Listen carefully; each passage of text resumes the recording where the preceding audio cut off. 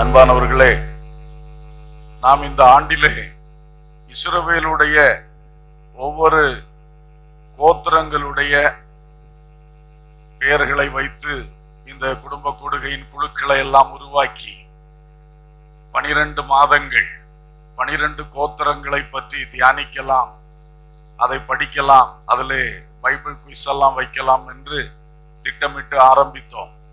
இப்பொழுது பதினொன்றாவது மாதத்திலே நான்காவது கோத்திரத்தில் வந்திருக்கிறோம். பாக்கி உள்ளதெல்லாம் லாக்டவுன்லே போய்விட்டது. இருந்தாலும் பரவாயில்லை. இன்றைக்கு நாம் யூதா கோத்திரத்தை குறித்து யூதாவை குறித்தும் யூதா கோத்திரத்தை குறித்தும் நாம் தியானிக்கிற வேளை குறிப்பாக அந்த மனிதன் யூதா அப்புறம் அவருடைய கோத்திரம். இதை வைத்து குடும்பத்துக்கு தேவையான ஒரு சில காரியங்களை மட்டும் நான் உங்களுக்கு சொல்ல விரும்புகிறேன். யூதாவை பற்றி பார்க்கும் பொழுது ஆதியாகமம் இருபத்தி ஒன்பதாவது அதிகாரம் முப்பத்தி ஐந்தாம் வசனம் சொல்லுகிறது மறுபடியும் அவள் கற்பவதியாகி ஒரு குமாரனை பெற்று இப்பொழுது கர்த்தரை துதிப்பேன் என்று சொல்லி அவனுக்கு யூதா என்று பெயரிட்டாள். ஒவ்வொரு பிள்ளைகளை லேயாள் யாக்கோபுக்கு பெற்றெடுக்கும் பொழுது குறிப்பிட்ட பெயர்களை வைத்து அந்த பெயர்களை ஒரு பெயர்களை ஒரு அர்த்தத்தோடு கூட வைத்து அவள் செயல்பட்டாள். அதிலே நாம் பார்க்கிறோம் இந்த யூதா என்கிற நான்காவது பிள்ளை நான்காவது பையன் பிறந்த பொழுது அவள் இந்த பெயர் வைத்த காரணம் நான் கர்த்தரை துதிப்பேன் கர்த்தரை துதிப்பேன். கத்தருக்கு ஸ்தோத்திரம். ரூபன் பிறக்கும் பொழுது முப்பத்தி ரெண்டாம் வசனத்துல இருக்கிறது கத்தர் என் சிறுமை பார்த்தருளினார் இப்பொழுது என் புருஷன் என்னை நேசிப்பார் என்று சொல்லி ரூபன் என்று பெயர் வைத்தாள். அடுத்ததாக சிமியோன் பறக்கும் போது நான் அற்பமாய் எண்ணப்பட்டதை கத்தர் கேட்டருளி இவனையும் எனக்கு தந்தார் என்று சொல்லி சிமியோன் என்று பெயர் வைத்தாள். லேவி பறக்கும் போது என் புருஷனுக்கு மூன்று குமாரரை பெற்றபடியால் அவர் இப்பொழுது என்னோட சேர்ந்திருப்பார் என்று சொல்லி லேவி என்று பெயர் வைத்தாள். இப்ப நான்காவது பிள்ளை யூதாவை பெற்றவுடனே நான் கர்த்தரை துதிப்பேன் என்று சொல்லி யூதா என்று பெயர் வைத்தாள். இப்ப இந்த நாலாவது பிள்ளைய பெற்றெடுக்கும் பொழுது இவளுக்குள் ஒரு பெரிய ஒரு மறுரூபம் உண்டாயிருக்கிறத நம்ம பார்க்கிறோம். இதுக்கு முன்னாடி ஃபுல்லா வருத்தத்தின் அந்த சாயல் இருந்தது. வருத்தத்தின் சாயல். முதல்ல சிறுமை என்று சொன்னாள். அடுத்தது அற்பமா எண்ணப்பட்டேன் என்று சொன்னாள். அடுத்து மூன்றாவது என் புருஷன் என்னோட இல்ல. இனியாவது என்னோடு சேர்ந்திருப்பார் என்று சொன்னாள். இப்படி ஒரு கவலை ஒரு வருத்தம் இது நிறைந்துதான் முதல் மூன்று பிள்ளைகளை பெற்றெடுத்திருக்கிறார். ஆனா இப்போ இந்த நாலாவது பிள்ளையை பெற்றெடுத்த உடனே பழைய கவலையை சொல்லல வருத்தத்தை சொல்லல புருஷனை பற்றி ஒன்றும் சொல்லல. ஒரே காரியம் நான் கர்த்தரை துதிப்பேன். அல்லேலூயா. இது ஒரு நல்ல அனுபவமாக காணப்படுகிறது. குடும்பத்திலே பல காரியங்கள் நாம் விரும்புகிறதும் விரும்பாததும் மாறி மாறி வந்து கொண்டுதான் இருக்கும். புருஷன் விரும்பினபடி சில வேளையில இருப்பார். சில வேளை நாம் விரும்பக்கூடிய அளவிலே செயல்பட மாட்டார். மனைவியும் அது போலதான் இது மனுஷ இயற்கை. அப்ப இவைகளை எல்லாம் பார்த்து வருத்தப்பட்டு வருத்தப்பட்டு நான் சிறுமைப்படுத்தப்பட்டிருக்கிறேன். நான் அற்பமா எண்ணப்பட்டிருக்கிறேன். என் புருஷன் என்னோட இல்லை என் மனைவி என்னோட சரியா இல்லை. இப்படியே நாம நினைத்து மனம் வருந்தி கஷ்டப்பட்டு கொண்டிருப்பதை விட கர்த்தரை துதிப்பதை தெரிந்து கொள்ள வேண்டும். அல்லேலூயா. ஏனென்றால் எந்த குடும்பத்திலும் உங்க குடும்பத்துல நீங்க பார்க்கும்போது எல்லாமே வருத்தத்துக்குரியது கிடையாது. எல்லாருக்கும் சில காரியங்கள் கஷ்டமா இருக்கும் ஆனா ஒரு பக்கம் நிறைய காரியங்கள் நன்றா இருக்கிறது. அந்த நன்றா இருக்கிறதை நினைத்து கர்த்தரை துதிக்கும் பொழுது உள்ளத்தில் விடுதலை ஆவியில் விடுதலை குடும்பத்தில் சந்தோஷம் அது வாழ்வுக்கு நன்றாக இருக்கும். அமேன் இந்த நடக்காததையும் விரும்பாததையும் நம்ம மனசுக்கு பிடிக்காததையும் அதை நினைச்சு நினைச்சு இருந்தா அந்த வீட்டுக்குள்ளே நாம ஒரு கட்டப்பட்ட ஆளா இருப்போம். சந்தோஷமே கிடையாது. புருஷனை பார்க்கும்போது மனைவியை பார்க்கும் பொழுது எப்பவுமே நமக்கு பிடிக்காத குணத்தையும் பிடிக்காத கிரியையும் சிந்திச்சோம்னா ஒரு நாளும் நேசிக்க முடியாது ஒரு நாளும் சந்தோஷமா இருக்க முடியாது. அவர்கள்ட்டையும் சில நல்ல காரியம் இருக்கு. அதை நம்ம நினைக்க ஆரம்பிச்சோம்னா கத்தரை நாம் துதிக்கலாம். ஆமேன். உள்ளத்தில் விடுதலை இருக்கும். பிள்ளைகளை பார்க்கும் போதும் அப்படிதான். பெற்றோர் ஒருவேளை கூட இருக்கலாம். எல்லார்கிட்டையும் கொஞ்சம் நல்லதும் கொஞ்சம் கெட்டதும் உண்டு. கெட்டதையே மனசுல ஏத்தி வச்சிருந்தோம்னா சந்தோஷம் இருக்காது. அவங்கள்ட்ட இருக்கக்கூடிய நல்லதுகளை நினைத்து கத்தரை துதிக்கும் பொழுது நம்மளுக்கு சந்தோஷம் இருக்கும். அதோடு கூட கத்தரை துதிக்க துதிக்க தானாக விடுதலை வரும். ஆமே நமக்கு இஷ்டம் இல்லாதது கூட நாளைக்கு ஆண்டவர் அதை சரிப்படுத்தி தருவார். எப்பொழுது? கர்த்தரை நாம் துதிக்கின்ற பொழுது. துதி ரொம்ப முக்கியம். துதி பெரிய மாற்றங்களை கொண்டு வரும். முதல்ல நம்ம உள்ளத்துல அது விசாலத்தை கொண்டு வரும். அது வாழ்க்கை முழுசுலையும் விடுதலையை கட்டாயம் கொண்டு வரும். சோ இவனை பார்க்கும் பொழுது கர்த்தரை துதிப்பேன் என்கிற அந்த பெயர் அர்த்தம் இவனுக்கு இருக்கிறதை பார்க்கிறோம். இந்த குடும்பத்தை பற்றி சொல்லும் பொழுது இவருடைய மனைவி சூவாவின் குமாரத்தி என்று சொல்லப்பட்டிருக்கிறது. பிள்ளைகளை குறித்து சொல்லும் பொழுது ஆதியாகமம் நாற்பத்தி ஆறு பனிரெண்டுலே ஏர் ஓனான் சேலா பாரேஸ் சேரா என்ற ஐந்து பிள்ளைகளுடைய பெயர்கள் கொடுக்கப்பட்டிருக்கிறது. இதிலே ஏர் ஓனான் என்கிற ரெண்டு பேரும் கர்த்தருக்கு முன்பாக பொல்லாப்பானதை செய்து கர்த்தரால் அடிக்கப்பட்டு செத்து போனார்கள். சேலா அடுத்தது பாரேஸ் சேரா என்கிற ரெண்டு பேர் ஒரு வித்தியாசமான முறையிலே பிறந்தவர்கள். ஆனாலும் கர்த்தர் தவறுகளை மன்னிக்கிறவர் கிருபையாய் இறங்குகிறவர். எனவே அந்த தாமாரிடத்தில் பிறந்த பாரேசை தான் மேசியாவின் சந்ததிக்கு தெரிந்தெடுத்தார். தவறுகள் வருகிறது ஆனாலும் தவறுகள் செய்யக்கூடாது குடும்ப வாழ்க்கையில. ஆனால் தவறுகளை கர்த்தர் மன்னிக்கிறவர் என்பதை புரிந்து கொள்ள வேண்டும். தவறு ஏற்பட்டு விட்டால் திரும்ப ஆண்டவரிடத்திலே தாழ்த்தி மன்னிப்பை பெற்றுக்கொண்டு முன் செல்லும் பொழுது கர்த்தருடைய கிருபை உண்டாகிறது என்பதையும் இந்த பைபிளில் உள்ள ஒவ்வொருவருடைய சரித்திரத்திலையும் நாம பார்க்கிறோம். அதைத்தான் இந்த யூதாவின் சரித்திரத்திலும். அவன் வேண்டுமென்று தவறு செய்யல மாட்டிக்கொண்டான். அவனுக்கும் அவனுடைய மருமகளுக்கும் பிறந்த பிள்ளைகள் தான் அந்த பாரேசும் சேரா என்பவர்கள். ஆயினும் அவனும் அந்த தவறை புரிந்து அவன் அதற்கு தக்கதாக தாழ்மைப்பட்டு நடந்து கொண்டான். ஆண்டவரும் அவன் குறையை மன்னித்து அப்படி வந்த பிள்ளை பொதுவாக பிள்ளைகள் பாருங்கள் அப்பாவிகள் அப்பாவி பிள்ளைகள். பைபிள்ல நிறைய அப்படி பார்க்கிறோம். எப்தா என்கிறவனை குறித்து பார்க்கிறோம். அவன் அவனுடைய தகப்பனுடைய மறுமனையாட்டி இடத்துல பிறந்தவன். அதனால அந்த மனைவி இடத்தில் பிறந்த பிள்ளைகள் இவனை வெறுத்து ஒதுக்கி துரத்தி விட்டான். ஒடுக்கப்பட்டவன் நெருக்கப்பட்டவன். அவன் என்ன பாவம் செஞ்சான்? இப்படி பிள்ளைகள் இருக்கிறத பார்க்கிறோம். ஆகவே அப்படிப்பட்ட பிள்ளைகளை நாம் பார்க்கும் பொழுது அதுகளை ஒதுக்க கூடாது வெறுக்க கூடாது அந்த பிள்ளையனுடைய பிறப்பு ஒருவேளை ஒரு ஒழுங்கு இல்லாத ஒரு உறவிலே வந்ததாக இருக்கலாம். ஆனாலும் தேவன் எல்லாரையும் நேசிக்கிறார். கத்தருக்கு ஸ்தோத்திரம். தாய் தகப்பன் செய்த தவறை பிள்ளையின் தலையில் வைக்க முடியாது. அதனால நம்முடைய உள்ளங்களும் இந்த பையனை தெரியாதா? அந்த குட்டிய தெரியாதா? அப்படியெல்லாம் பேசவும் கூடாது நினைக்கவும் கூடாது. பிள்ளைகள் குற்றம் அறியாதவர்கள் அவள் எங்கு பிறந்தாலும் இனி அவர்கள் வாழ்க்கை நன்கு இருக்க வேண்டும். அதற்கு நாம் அனுகூலர்களாக இருக்க வேண்டும். இதைத்தான் நாம் புரிந்து கொள்ள வேண்டும்.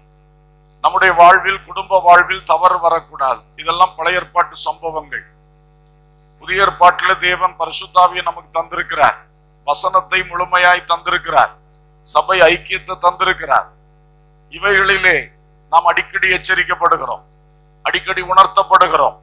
நல்ல காரியத்துக்கு ஊக்குவிக்கப்படுகிறோம். அப்ப நாம் தவறுகள் செய்யக்கூடாது.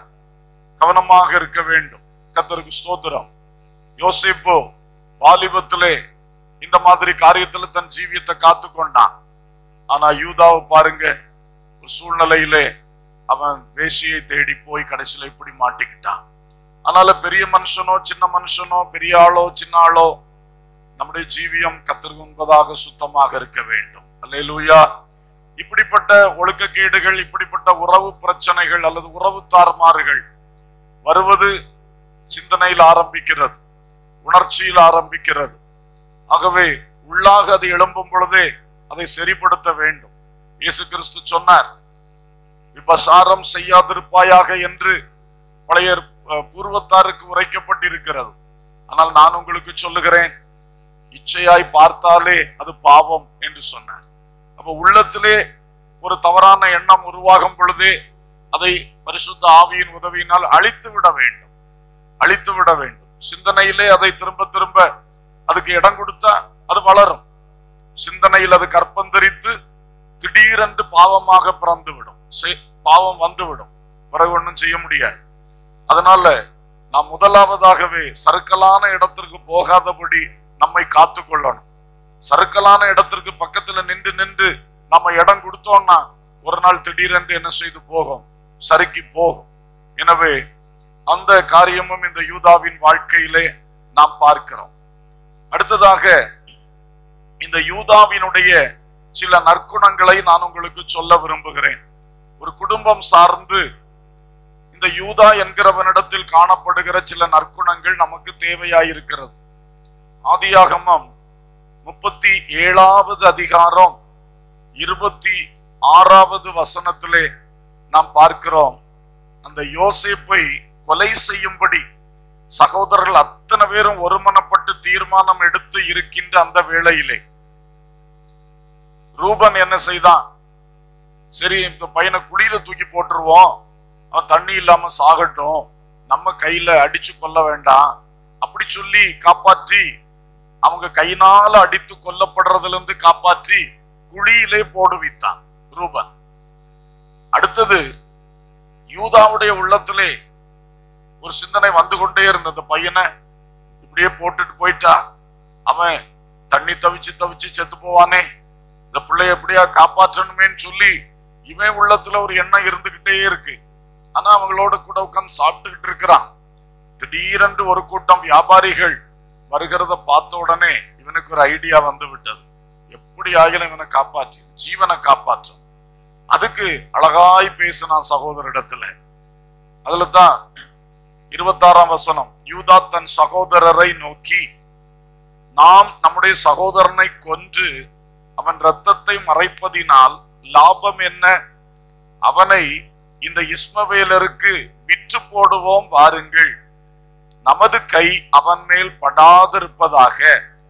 அவன் நம்முடைய சகோதரனும் நம்முடைய மாம்சமாய் இருக்கிறானே என்றான் அவன் சகோதரர்.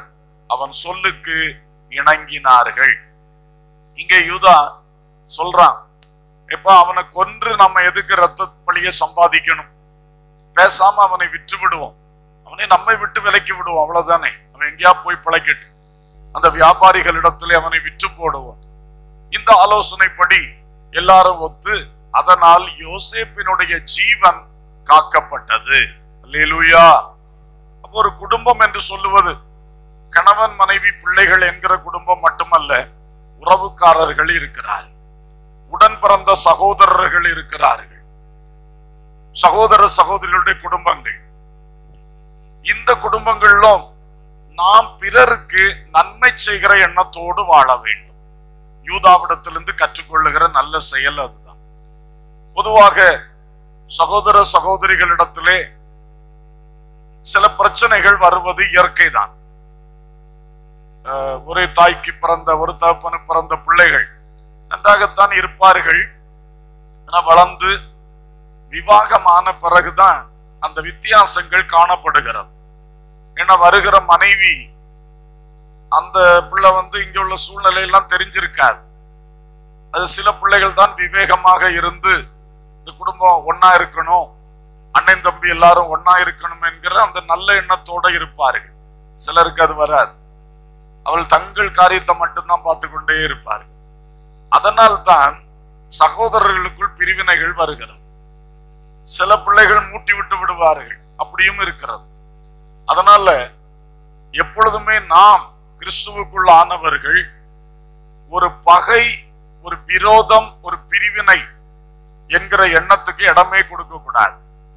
அவங்க சில நம்மளை கஷ்டப்படுத்துறவங்களா கூட இருக்கலாம். ஆனாலும் நம்ம அவங்களுக்கு தீமை நினைக்க கூடாது. அது நம்முடைய ஒரு பிரதிஷ்டையா இருக்கணும். அல்லேலூயா. உங்கள் சத்துருக்களுக்கும் நன்மை செய்யுங்கள் தான் இயேசு சொல்லி இருக்கிறார் உங்களை துன்பப்படுத்துறவர்களுக்காகவும் நீங்க என்ன செய்யணும்? ஜெபம் பண்ணணும்னு கர்த்தர் சொல்லி இருக்கிறார் அதனால குடும்பத்துக்குள்ள பெண்களானாலும் ஆண்களானாலும் ஒரு வாய்ப்பு கிடைத்தா கூட ஒரு பிரிவினை உண்டாக்க கூடாது சிலர் என்ன நினைப்பார்கள்? இவங்க ரொம்ப ஒட்டுறவா இருக்கிறதுனால எனக்கு செலவு ஜாஸ்தி. எனக்கு வேலை ஜாஸ்தி. சிலர் அப்படி நினைப்பார்கள். சும்மா சும்மா வந்து இருந்துடுறார்கள் சும்மா சமைச்சு போட்டுட்டு இருக்க முடியுமா எனக்கு?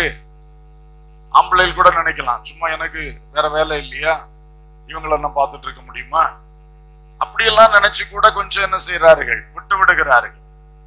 அப்படி செய்யக்கூடாது. சகோதரர்களை கர்த்தர் தந்திருப்பது ஒரு பெரிய பாக்கியம். அல்லேலூயா. அவங்கள நல்லா வச்சிருக்கணும். அப்படி யூதா நல்ல உள்ளம் கொண்டவனா இருந்தான். மற்ற சகோதரர்கள் அவனை பகைத்த பொழுதும் அதுக்குள்ள இருந்து அவனை காப்பாற்றி விட்டவர் நல்ல செயலை செய்தான். இன்றைக்கு நாலு பேர் இருக்கிறீங்க. அதுல ஒருத்தரை எல்லாரும் சேர்ந்து ஒதுக்குறாங்க. மூணு பேரும் சேர்ந்து ஒரு ஆளை ஒதுக்குறாங்க. அப்ப நீங்க அந்த மூணுல ஒரு ஆளா இருக்கிறீங்க. நீங்க கவனிக்கணும். அப்படி ஒதுக்குகிற ஒரு கூட்டத்துல நம்ம ஒரு கோஷ்டி சேரக்கூடாது. உண்மையிலே சகோதரர்களுக்குள் எல்லாருக்கும் எப்பொழுதும் வேண்டப்பட்டவர்களாக நாம இருக்கணும். அதுதான் பெரிய பாக்கியம். உங்களுக்கு புரியுதா நான் சொல்றது? நமக்கு எத்தனை பிரதர்ஸ் சிஸ்டர்ஸ் இருக்காங்களோ எல்லாரும் நம்ம கிட்ட ஃப்ரீயா பேசணும். எல்லாரும் நம்மள கிட்ட தேடி வரணும். அந்த அளவுக்கு நம்ம வைத்துக் கொள்ளணும். யாரோ ஒருத்தர் ஒண்ணு சொன்னாருன்னு அங்க சேர்ந்து அவங்களுக்கு விரோதமா ஒரு காரியம் செஞ்சிடக்கூடாது. அவங்கள வருத்தப்படுத்துகிற ஒரு செயல் செய்யக்கூடாது. அப்படி சொன்னாலும் சரி நான் வந்துட்டு பேசுறேன். அந்த நிலைமை நமக்கு இருக்கணும். அப்படியா? அப்படியா? நானும் அப்படிதான் நினைச்சேன். இப்படி சொல்லி இங்க செட்டு சேர்ந்துகிட்டு ஒரு ஆளை ஒதுக்குறது ஒரு ஆளை காயப்படுத்துறது கஷ்டப்படுத்துறது இந்த நிலைமை நமக்கு வரவே நம்ம செய்யவே கூடாது. அல்லையிலூயா ரெண்டு பேர் சேர்ந்து ஒருத்தரை பகைச்சாலும் அதுல நடுவுல பாலமா நின்று அதை சரி செய்யக்கூடிய ஒரு நபராக நாம இருக்கணும். அதுதான் ரொம்ப ஆசீர்வாதம். இந்த மாதிரி நல்ல விதைகளை நீங்க விதைச்சீங்கன்னா உங்க வாழ்க்கையில அடுத்தது நீங்க அதனுடைய நல்ல அறுவடை என்ன செய்வீங்க? அனுபவிப்பீங்க. கெட்ட விதைகளை விதைச்சு பிரிவினை உண்டாக்கி விட்டுட்டீங்கன்னா நாளைக்கு உங்களுக்கு எதிராக எழும்பி வரும். உங்களுக்கு உங்க குடும்பத்துக்குள்ள பிரிவினை உண்டாகும். உங்களால் தாக்கு பிடிக்க முடியாது. என்ன நீ எதை விதைக்கிறாயோ அதையே நீ அறுப்பாய். பைபிள் வசனம் சொல்லுது. அதனால நீங்கள் தாய் என்ற ஸ்தானத்தில் மகள் என்ற ஸ்தானத்தில் மருமகள் என்ற ஸ்தானத்தில் தகப்பன் என்ற ஸ்தானத்தில் மகன் என்ற ஸ்தானத்தில் எத்தனையோ ஸ்தானத்துல இருக்கிறீங்க. ஆனா சகோதரர்களுக்குள் அன்பு ஐக்கியம் இருக்கிறதற்கு நீங்க ஒரு பெசிலிட்டேட்டரா இருக்கணும். நீங்க ஒரு ஆ- அதை அதை ஆதரித்து செயல்படுகிறவர்களாக இருக்கணும். எல்லார்ட்டையும் எல்லாரையும் ஒண்ணு போல வச்சுக்கிடுங்க. அது ஒரு பெரிய ஒரு நல்ல குணம். இவன் இவனும் அவனும் ஒண்ணு. அப்படி இல்லை. நம்ம எல்லாரும் ஒண்ணு. அதான் நல்லது. இவங்க ரெண்டு பேரும் ஒன்னாத்தான் நிற்பாங்க எல்லாத்துலயும். அது வந்து மற்றவங்களுக்கு அது அவ்வளவு சந்தோஷமா இருக்காது.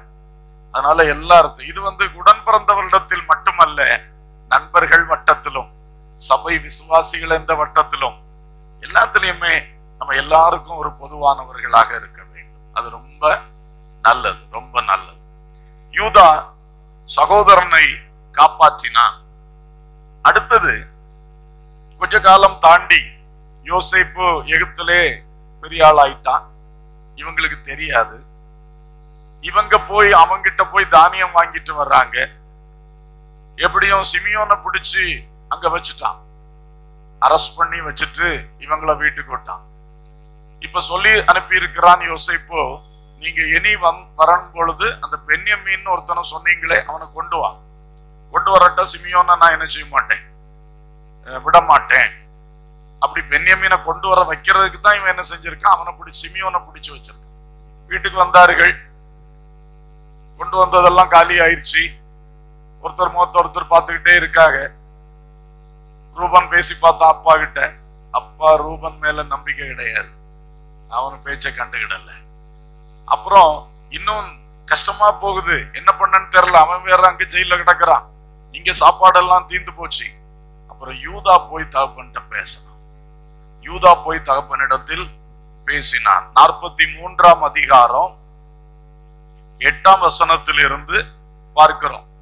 பின்னும் யூதா தன் தகப்பனாகிய இஸ்ரவேலை நோக்கி நீரும் நாங்களும் எங்கள் குழந்தைகளும் சாகாமல் உயிரோடு இருக்கும்படி நாங்கள் புறப்பட்டு போகிறோம். பிள்ளையாண்டானை அதாவது பென்யமீனை என்னோட அனுப்பும். அவனுக்காக நான் உத்தரவாதம் பண்ணுவேன். அவனை என்னிடத்திலே கேளும். நான் அவனை உம்மிடத்தில் கொண்டு வந்து உமக்கு முன்பாக நிறுத்தாமற் போனால் என்னாலும் அந்த குற்றம் என்மேல் இருப்பதாக. நாங்கள் தாமதியாதிருந்தோமானால் இதற்குள்ளே இரண்டாம் தரம் போய் திரும்பி வந்திருப்போமே என்றார் யூதா பேசின பொழுது தகப்பன் ஒத்துக்கிட்டேன் சரி போங்க. இந்த நம்ம தேசத்தில் இருக்கிற கொஞ்சம் உச்சிதங்கள் எல்லாம் அவனுக்கு கொண்டு கொடுங்க. அப்படி சொல்லி அனுப்பி விட்டார். அப்ப இதுல நம்ம பார்க்கிறோம் ரெண்டு விஷயங்கள். ஒன்று சகோதரனுக்காக பென்யமீனுக்காக உத்தரவாதம் எடுத்த யூதா. சில வேளை சில சூழ்நிலைகள் அப்படி வந்து விடுகிறது.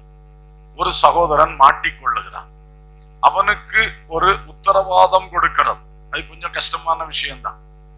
ஷியூரிட்டி கொடுக்கறதுன்னு சொல்லுவாங்கல்ல அவன் வாங்கின கடனுக்கு இவர் என்ன பண்ணுவார்? கையெழுத்து போடுவார். அது கொஞ்சம் கஷ்டமான காரியம்தான். ஆனா சிலர் அதை கூட செய்து சகோதரனுக்காக அந்த தியாகத்தை அனுபவிக்கிறார். என் சகோதரன் மாட்டிக்கிட்டான். அவனுக்கு நான் உத்தரவாதம் பண்ணுவேன். ஒருவர் ஊழியத்துக்கு வந்தார். அப்போ அவர்கிட்ட பேசி கொண்டிருந்த பொழுது அவங்க ரெடி ஊழியத்துக்கு எல்லாம் இப்போ நான் கேட்டேன் உங்களுக்கு வேற ஏதாவது கட்டுகள் இருக்கா? கடன் பிரச்சனைகள் அப்படி ஏதாவது இருக்கா? அப்போ ரெண்டு பேரும் ஒருத்தர் ஒருத்தர் பார்த்தார்கள். பார்த்துட்டு சொன்னார்கள் கொஞ்சம் கடன் இருக்கு. அப்போ அந்த கடன் எப்படி வந்தது அப்படின்னா இது எங்களுக்காக வரல என்னுடைய அண்ணன் சிக்கி போனான். அப்போ அந்த நேரத்துல அவனை காப்பாற்றுறதுக்கு நான் அவனுக்கு ஷூரிட்டி தானே சொல்லுவாங்க அது. ஷூரிட்டி கொடுத்தேன். கடைசியில் அவன் அதை கண்டுகொள்ளாம விட்டுட்டான். இப்ப நான் அதை அடைச்சிட்டு இருக்கிறேன். அந்த பணத்தை நான் அடைச்சிட்டு இருக்கிறேன். இனி இதுக்கு மேல கேட்க போனா எங்களுக்குள்ள சண்டை வந்துடும் பிரச்சனை வந்துடும் அதனால நான் அதை செஞ்சுட்டு இருக்கிறேன். அப்போ இவர் ஊழியத்துக்குள்ள விடுதலையா பிரவேசிக்கலாம்னு நினைச்சா இப்போ ஒரு தடை. தடை இவரால இல்ல. சகோதரனுக்காக உத்தரவாதம் பண்ண போன இடத்துல. அந்த சகோதரன் அதுக்கு தகுதியா நடந்துகிடல. ஒரு நன்றியா நடந்துகிடல. இவன் பார்த்துக்கிட்டோம். அப்படி இவன் தலையில விட்டுட்டான். இப்படி இருக்கிறது. ஆனா எனக்கு ஆச்சரியம். அந்த சகோதரன் பேசும் பொழுது அவனுடைய சகோதரனை பற்றி குற்றமா சொல்லல. கோபமா சொல்லல. ரொம்ப அழகா பேசினான். அந்த உள்ளம் எனக்கு அவருடைய உள்ளம் எனக்கு அவ்வளவு மேன்மையா தெரிஞ்சது. அதனால போய் எல்லாத்துலயும் மாட்டிக்கிடுங்கன்னு நான் சொல்ல வரல. ஆனா அந்த உள்ளம் ரொம்ப மேன்மையான ஒரு உள்ளம். அவ்வளவு தூரம் சகோதரனை இன்னொரு சகோதரன் நேசிக்கிறான். அந்த பிள்ளையும் அவங்க அத்தானை பற்றி ஒண்ணுமே சொல்லல. அவ முகத்திலையும் வித்தியாசம் இல்லை. ரெண்டு பேரும் அதை சுமக்கிறாங்க. அந்த ஆளுடைய பாரத்தை இவங்க சந்தோஷமா சுமக்கிறாங்க. கத்தருக்கு ஸ்தோத்திரம். அப்போ பாருங்கள் இந்த உலகத்துல ஆண்டவர் இப்படிப்பட்ட ஆட்களை வச்சிருக்கிறார். இதெல்லாம் உண்மையிலே கிறிஸ்துவின் தன்மை தான் இல்லையா? அடுத்தவர் பாரத்தை நம்ம எடுத்து சுமக்கிறது அதுவும் ஒரு இதுல ஒரு நியாயமே இல்லை. அநியாயமா சுமக்கிறதா இருக்கு. ஆனாலும் அதை சந்தோஷமாக அவர்கள் சுமக்கிறான்னு சொல்லும் போது அது எவ்வளவோ அழகா இருக்கு. அப்ப இந்த சகோதர சிநேகம் என்பது மிகவும் முக்கியம் மிகவும் முக்கியம். சகோதரனுக்கு நான் கேரண்டி என்று அவன் சொன்னான். அடுத்தது இந்த விஷயத்துல இன்னொன்னு தகப்பனுடைய நம்பிக்கைக்கு பாத்திரமா யூதா நடந்து கொண்டான். இதே வார்த்தையை ரூபன் வந்து பேசினான் முதல்ல. தகப்பன் கேட்கவே இல்லை. ஏன்னா அவனுக்கு மேல அவருக்கு நம்பிக்கை இல்லை. இந்த நாலாவது பையன் யூதா வந்து பேசின உடனே ஆ சரி போங்க. அப்போ அந்த யூதா அவன் சகோதரர் மத்தியிலே இவ்வளவு ஒரு அன்பும் பாசமும் ஒரு உத்தரவாதமும் உள்ளவனா இருக்கும் பொழுது அந்த அப்பாவுடைய நம்பிக்கைக்கும் பாத்திரனா இருக்கிறான். உயிர் உயிரா இருக்கக்கூடிய பெண்ணியமீனை இவனை நம்பி இவன் கையில கொடுத்து அனுப்பலாம். இன்னைக்கு நம்ம பெண்ணியமீனை ஒன்றும் காணலையே. பெண்ணியமீன் ரெண்டு பேரும் தான் வந்திருக்க கத்தல் சொல்லு கோத்திரத்தை சொன்னேன் அவங்களுக்கு ஞாபகம் இல்லை போல. கத்தருக்கு ஸ்தோத்திரம். பாருங்கள் பெண்ணியமீனுக்காக யூதா உத்தரவாதம் எடுத்தார். தகப்பன் அவனை நம்பி ஓகே என்று சொல்லி கொடுத்து அனுப்பினார். இதுல இன்னொரு வசனம். அப்புறம் வந்து நடந்த சம்பவங்கள் உங்களுக்கு தெரியும். நமக்கு எல்லா ஹிஸ்டரி சொல்ல வேண்டாம். நமக்கு வேண்டியதை மட்டும் சொல்லுவோம். பிறகு யோசேப்பின் அழைப்பின் பேரிலே தகப்பனும் குடும்பமாக சேர்ந்து அப்படியே எகிப்துக்கு போறாங்க. போகும் பொழுதும் ஆதியாகமம் நாற்பத்தி ஆறாம் அதிகாரம் இருபத்தி எட்டாம் வசனம். கோசேன் நாட்டிலே தன்னை யோசிப்பு சந்திக்க வரும்படி சொல்ல யூதாவை தனக்கு முன்னாக அவனிடத்தில் யாக்கோபு அனுப்பினான். தனக்கு ஒரு அம்பாசிடரை போல ஸ்தானாபதிய போல அனுப்புறதுக்கு இந்த ரூபன் இருந்தான். என்ன? லேவி இருந்தான். இவங்க ரெண்டு பேரும் இவருக்கு மூத்தவர்கள். சிமியோன் அங்க ஜெயில கிடக்குறான். ரூபனும் லேவியும் யூதாவுக்கு அன்னைமார். அவங்க ரெண்டு பேர்ல ஒரு ஆளை இவர் விடல. இந்த பையனை தான் விடுறாரு. யூதா நீ முன்னாடி போ. யோசேப்பை பார்த்து அந்த கோசை நாட்டுல வர சொல்லு. நம்ம அங்க சந்திக்கலாம் அப்படிங்கிற தகப்பனுடைய நம்பிக்கைக்கு பாத்திரவா? நம்பி பெண்யமீனை கையில கொடுத்து விடுகிறான்.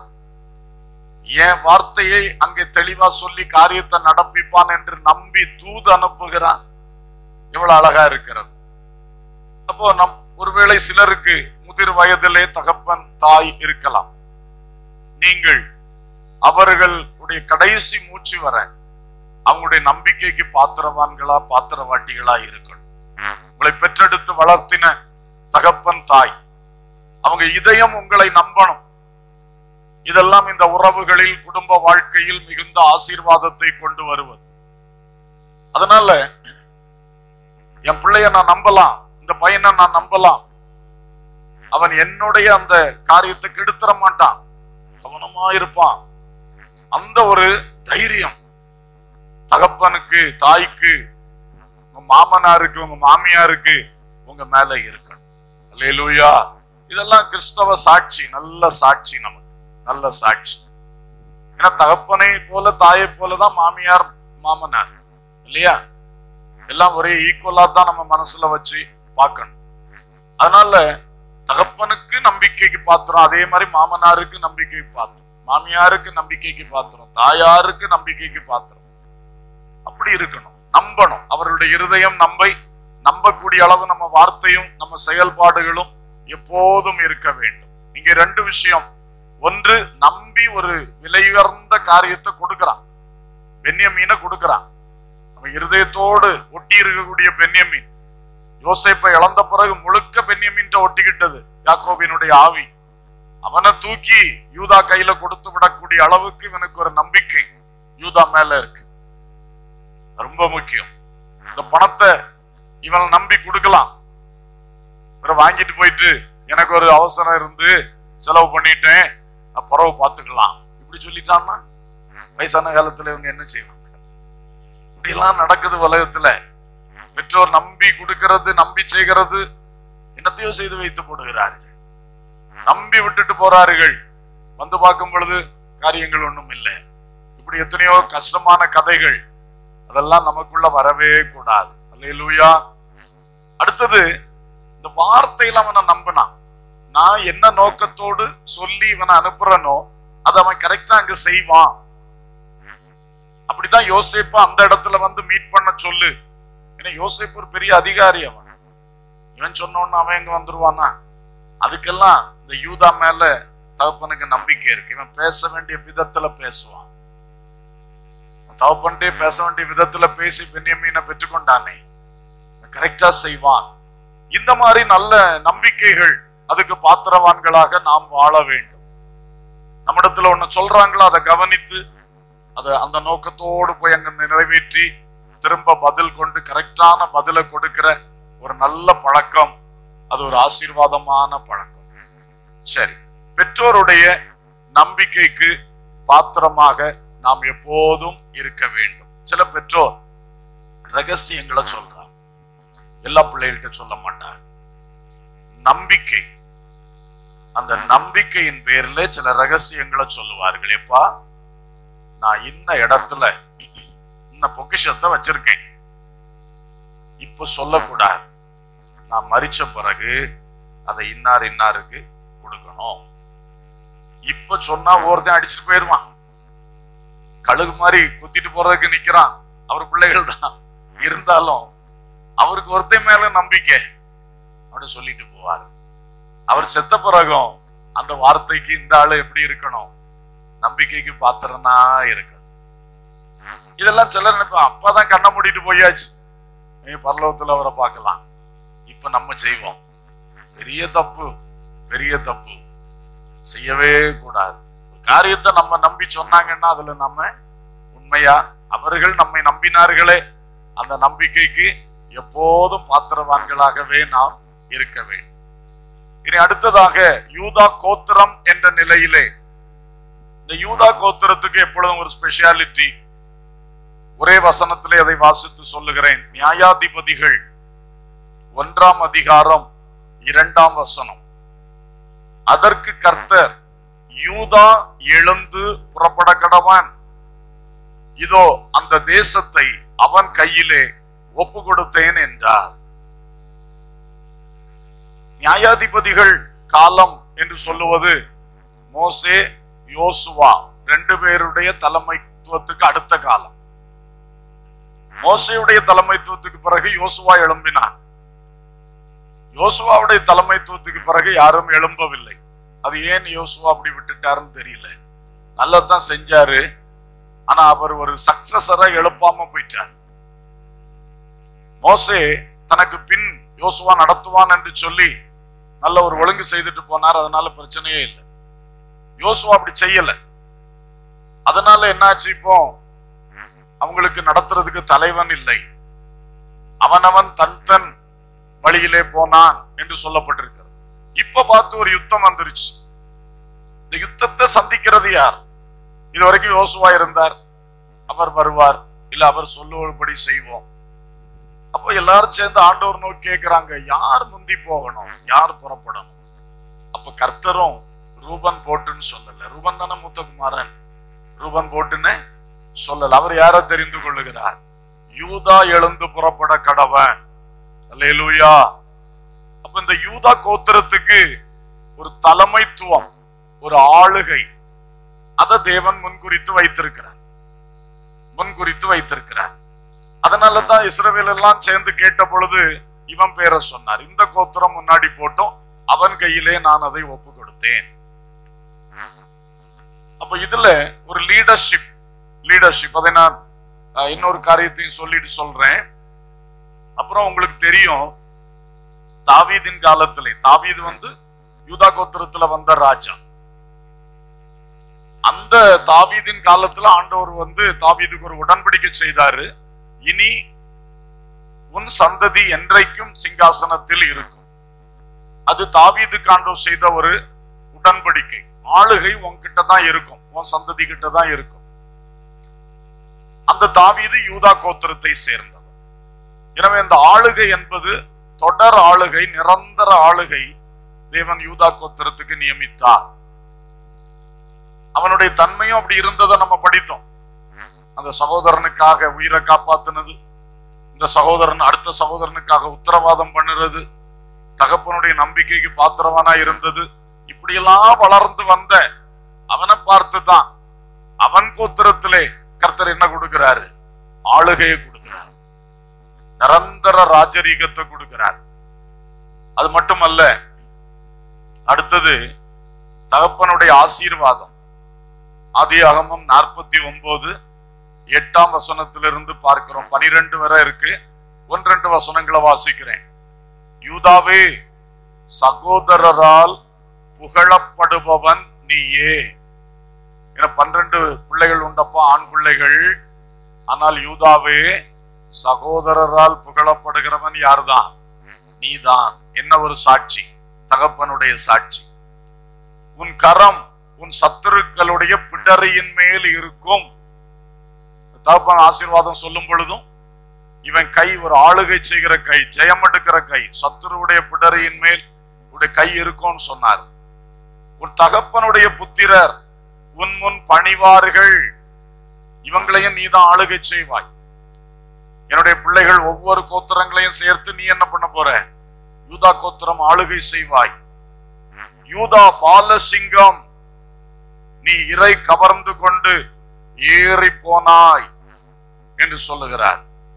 இதிலே இந்த யூதாவுக்கு சொல்லுகிற தீர்க்க தரிசனம் இயேசு கிறிஸ்து மேசியாவை பற்றின தீர்க்க தரிசனமா இருக்கு. அவர் உலகத்துக்கு வந்தார் சிலுவையில் ஏறினார் ஆத்துமாக்களுக்காக தன் ஜீவனை கொடுத்து ரத்தத்தை சிந்தி இறை கவர்ந்து கொண்டு ஏறி போனார். அல்லேலூயா. அந்த இயேசுவின் ரத்தத்தினால் தான் இன்னைக்கு ஆத்துமாக்கள் ரட்சிக்கப்பட்டு கொண்டிருக்கிறார்கள். பாலசிங்கத்தை போல இறங்கி வந்து சாத்தானை கல்வாரி சிலுவையிலே ஜெயித்து அவர் இறை கவர்ந்து கொண்டு ஆத்துமாக்களுக்கான வழியை திறந்து கொடுத்து அல்லது ஆத்தும ஆதாயம் செய்தவராக ஏறி போனார். அந்த தீர்க்க தரிசனம் சொல்லப்பட்டிருக்க யூதாவை பற்றி. பத்தாம் வசனம் சமாதான கர்த்தர் வரும் அளவும் செங்கோல் யூதாவை விட்டு நீங்குவதும் இல்லை. நியாயப்பிரமாணிக்கன் அவன் பாதங்களை விட்டு ஒழிவதும் இல்லை. ஜனங்கள் அவரிடத்தில் சேருவார்கள். இது முழுக்க முழுக்க மேசியாவை இயேசுவை பற்றி சொன்ன வார்த்தை. சமாதான கர்த்தர் வருவார். அவரும் இந்த கோத்திரத்துல வருவார். அதுதான் இங்க சொல்லி இருக்கிறது அது வரைக்கும் செங்கோல் ஆளுகையினுடைய செங்கோல் யூதாவை விட்டு என்ன செய்யாது? மாறாது. அப்ப இந்த யூதாவுக்கு தகப்பன் சொன்னது தாவீதின் காலத்திலே ஆண்டவர் அதை உடன்படிக்கை பண்ணி கொடுக்கிறார். கொடுத்து அந்த தாவீதின் வம்சத்திலேயே ராஜாக்கள் வருகிறார்கள். இயேசு கிறிஸ்துவும் தாவீதின் குமாரனாகவே வந்தார். அல்லேலூயா. நிரந்தர ஆளுகை நித்திய ஆளுகை. ஒரு பெரிய ஆசீர்வாதம் இந்த யூதாவுக்கு.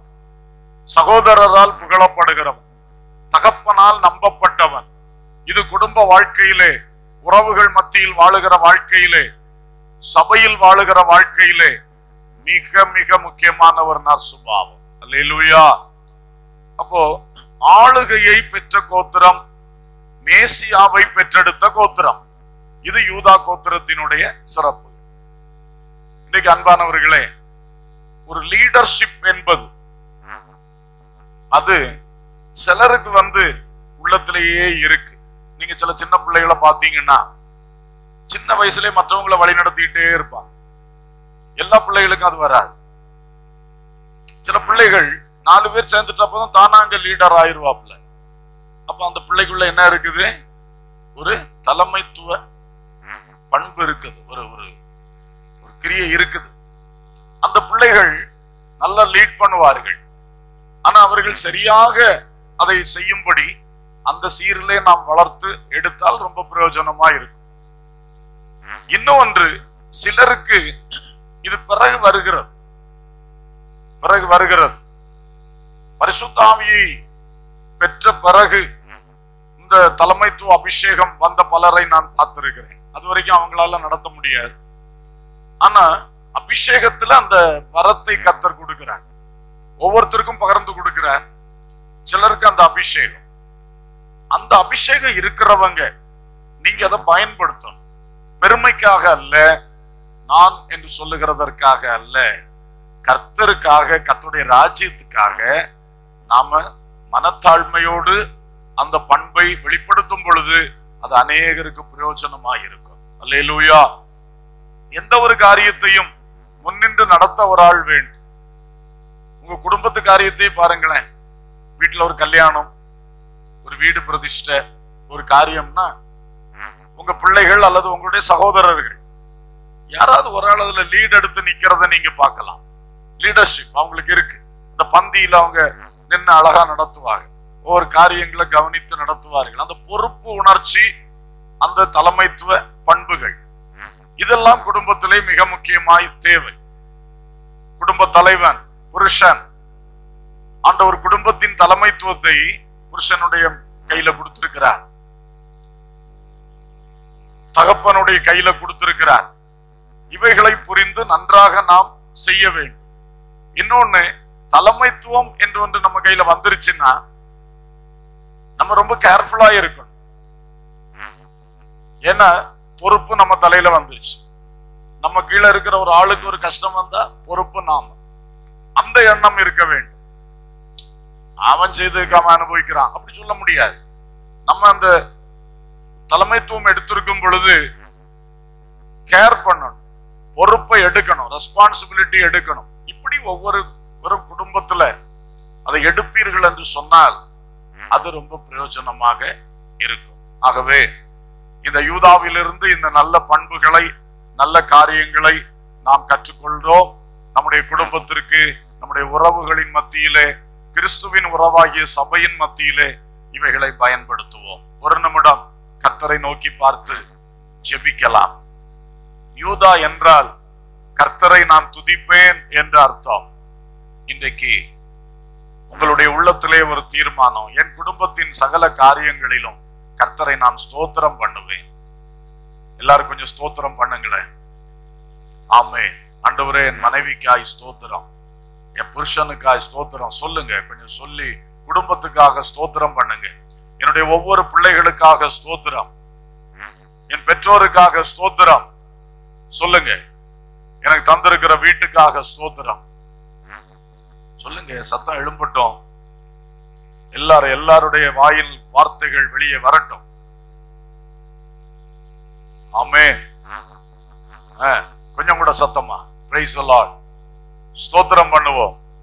சரி எந்த காரியம் உங்களுக்கு பிடிக்கலையோ அதுக்காக ஒரு சோத்திரம் பண்ணுங்க. சும்மா தைரியமா சோத்திரம் பண்ணுங்க. அதற்காகவும் ஸ்தோத்திரம். ஏன்னா அதனாலதான் நம்ம உருவாக்கப்படுகிறோம். நமக்கு பிடிக்காத ஒரு காரியம் புருஷனிடத்திலிருந்தோ மனைவியிடத்திலிருந்தோ பிள்ளைகளிடந்தோ வெளிப்படும் போது அதுதான் நம்மை பக்குவப்படுத்துகிறது. அதற்காகவும் ஸ்தோத்திரம் செலுத்துவோம். கத்தர் எல்லாம் நன்மைக்கு ஏதுவாக நடத்துகிறார். ஹalleluya ஸ்தோத்திரம் ஸ்தோத்திரம் ஸ்தோத்திரம் ஸ்தோத்திரம். சகோதரனை காப்பாற்றின அந்த யூதா இன்னைக்கு உங்க சகோதரன் மேல் உங்களுக்கு ஒரு கரிசனை உண்டாகும் இப்போ உங்க உடன் பிறந்தவர்களுக்காக ஒரு நிமிடம் ஜெபம் பண்ணுங்க. உடன் பிறந்தவர்கள் அல்லது உறவினர்கள் சிலருக்கு ஒத்த பிள்ளையா இருப்பீங்க. உங்க சித்தப்பா பெரியப்பா பிள்ளைகளுக்கா ஜோம் பண்ணுங்க. ஜோம் பண்ணுங்க. உண்மையா ஜோம் பண்ணுங்க. ஆண்டவரே இவர்களை ஆசீர்வதியும். அவங்க யார் மேலேயாவது உங்களுக்கு மனத்தாங்கல் இருந்தால் இந்த நேரத்தில் அதை அறிக்கை செய்து விட்டு விடுங்க ஸ்தோத்திரம். எல்லாரையும் நான் நேசிக்கிறேன். இந்த சகோதரன் கஷ்டப்படுகிறான். அவனுக்கு இறங்கும். மற்றவங்க எல்லாம் சேர்ந்து இவனை ஒதுக்கிட்டாங்க. அவனுக்கு நான் ஆதரவா இருக்கணும் இருப்பேன். ஸ்தோத்திரம். லூயா அவளுக்கு நான் ஆதரவா இருப்பேன். சொல்லுங்க சொல்லுங்க. சும்மா சோத்திரம் சோத்திரம் சொல்றீங்களா? இல்ல வார்த்தைகளை சொல்லி ஜெபிக்கிறீர்களா? ஜெபிக்கணும். இதுல எல்லாம் நல்ல மறுரூபம் வந்துருச்சுன்னா நம் கிறிஸ்துவின் சாயலை தரித்துக் கொள்ளுவோம். அல்லேலூயா ஸ்தோத்திரம் ஸ்தோத்திரம். தகப்பனுடைய நம்பிக்கைக்கு பாத்திரம். பெற்றோருடைய நம்பிக்கைக்கு பாத்திரம். ரொம்ப நமக்கு வேணும். ஸ்தோத்திரம். எந்த காரியத்திலேயாவது பெற்றோர் உங்களை குறித்து வருத்தப்பட்டிருக்காங்களா? அதை சரிப்படுத்துங்க. ஆண்டவடத்துல மன்னிப்பு கேளுங்க. ஆலை லூயா என் பெற்றோருக்கு எப்பொழுதும் நான் நம்பிக்கைக்கு பாத்திரமா இருக்கேன் ஆலை லூயா கர்த்தர் உங்களுக்கு ஒரு தலைமைத்துவ பொறுப்பை தந்திருக்கிறாரா? அதை உத்தமமா செய்யுங்க பொறுப்பா செய்யுங்க தாழ்மையா செய்யுங்க. எல்லாரையும் சுமக்கிறவர்கள் என்று நினைத்து செய்யுங்க. ஹalleluya ஸ்தோத்திரம் ஸ்தோத்திரம் ஸ்தோத்திரம் ஸ்தோத்திரம். Praise the lord praise the அன்புள்ள பரலோக பிதாவே நல்ல தகப்பனே நன்றியோடு ஸ்தோத்திரிக்கிறோம் வாழ்த்துகிறோம். இன்று இந்த குடும்ப கூடுகையிலே யூதா என்கிற மனிதனை குறித்தும் அந்த கோத்திரத்தை குறித்தும் முக்கியமான ஓரிரு காரியங்களை நாங்கள் தியானித்தோம். கர்த்தரை எப்பொழுதும் துதிக்கும்படி எங்களுக்கு கிருபை தாரும். எங்கள் சகோதரர்கள் எல்லாரையும் ஒன்று போல நேசிக்கவும் எல்லாரும் ஒதுக்கினாலும் அவர்களை நாங்கள் காப்பாற்றுகிறவர்களா இருக்கவும் எங்களுக்கு உதவி செய்யும். ஆண்டவரே எங்கள் சகோதரர்களுக்காக உத்தரவாதம் எடுத்து ஜெபிக்கிறவர்களாய் திறப்பில் நின்று அவருடைய ரட்சிப்புக்காக அவருடைய வாழ்வின் ஆசீர்வாதங்களுக்காய் செபிக்கிறவளாய் எங்களை மாற்றும். எங்கள் பெற்றோருடைய நம்பிக்கைக்கு பாத்திரங்களாய் மாமனார் மாமியாருடைய நம்பிக்கைக்கு பாத்திரமானவர்களாய் எப்பொழுதும் வாழ ஒவ்வொருவருக்கும் கிருபை செய்யும். எங்களுக்கு எந்த பொறுப்பை தந்திருக்கிறீரோ குடும்ப பொறுப்பு ஊழியத்தில் சில பொறுப்புகள் வேலை தொழில் விஷயமாய் சில பொறுப்புகள் இது எல்லாவற்றிலும் சிறப்பாக உள்ளத்தில் மனத்தாழ்மையோடு நடத்த வேண்டிய காரியங்களில் விவேகத்தோடு நன்றாக நடத்தி குடும்பத்துக்கும் கத்துடைய ராஜ்யத்துக்கும் பிரயோஜனமான கருவிகளாய் இருக்க ஒவ்வொருவருக்கும் உதவி செய்யும். இப்படிப்பட்ட குடும்ப கூடுகை போன்ற ஊழியங்களினால் எங்களுக்குள் இருக்கிற கிருபைகள் வரங்களை அனல் மூட்டி எழுப்புகிறோம். வாய்ப்புகள் எங்களுக்கு கிடைக்கிறது.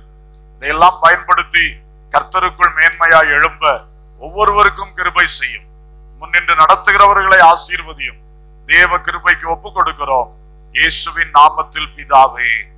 ஆமேன்.